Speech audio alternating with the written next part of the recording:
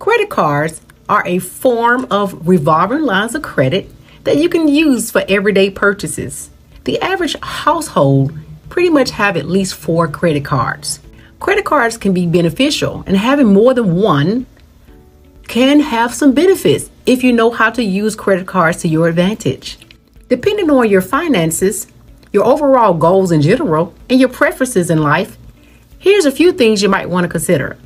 Number one, credit cards oftentimes have different values of rewards, points, and things of that nature. I did a video on that a few weeks ago.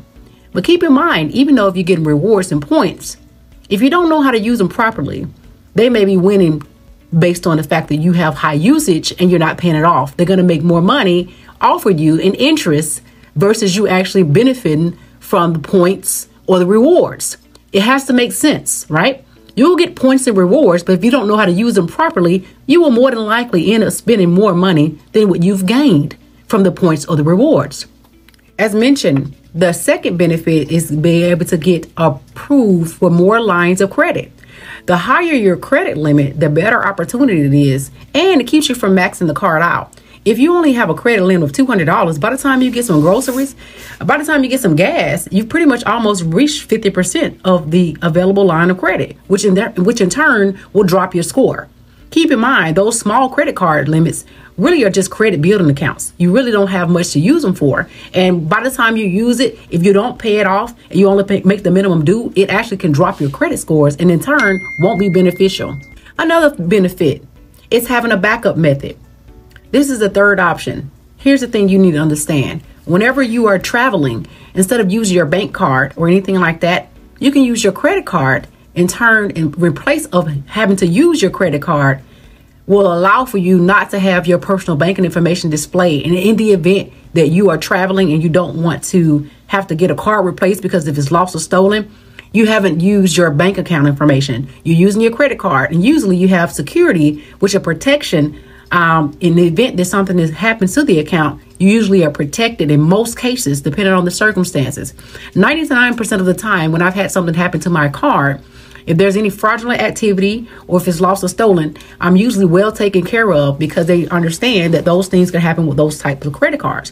But you have to be careful because it's also depending on how the credit card was used and those sorts. So you have to be real cautious about how you taking use of credit cards.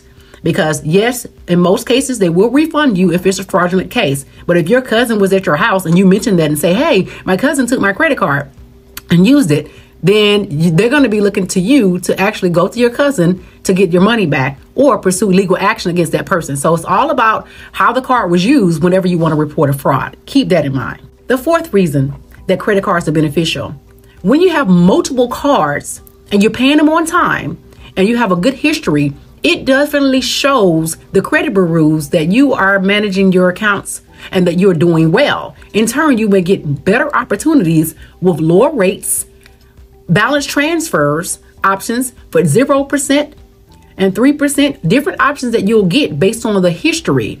The more co- accounts you have, that's how you get your scores to 800. You don't get to 800 scores by having one or two accounts. So if your goal is to get your score as high as possible, and the highs, eights, or even possibly a 900 score. I don't know anyone with a 900 credit score, but I've definitely reached the eights in the mid 800s. And I tell you, it wasn't something that was easy to obtain. It takes time to get that far. And it's all based on your history, not necessarily because you're making your payments on time. It has a lot to do with how you're making your payments. How are you utilizing those cards? Last but not least, when you get credit cards, you have to make sure you use them wisely. That's an issue we run into with a lot of people. When you get credit cards, you have to use them responsibly. Yes, you can benefit from the credit cards, and it can really help you to have a different lifestyle and help you be able to do things you probably would not be able to do.